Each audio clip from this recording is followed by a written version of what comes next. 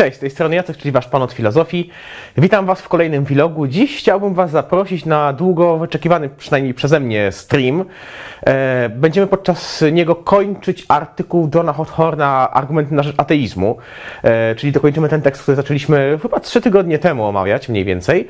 E, więc bardzo serdecznie Was zapraszam ten stream. On się odbędzie w najbliższą sobotę o godzinie 19.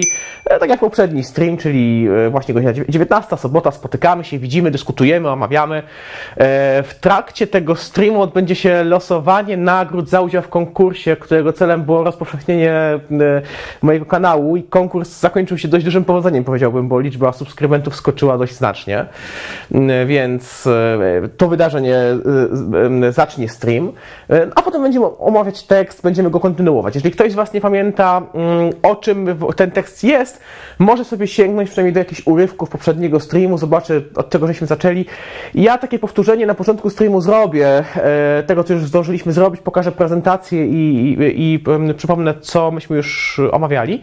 Natomiast e, jeżeli chcecie jeszcze głębiej sięgnąć do tego tekstu, to tak jak mówię, zapraszam do tego, żeby poprzedni stream obejrzeć. Aha, i zmienia jedną rzecz. Tutaj Maciej Dąbrowski e, polecił mi zrobienie jednej rzeczy rzeczywiście bardzo sensownej, mianowicie w opisie tego filmu macie link do pobrania tego tekstu w wersji PDF.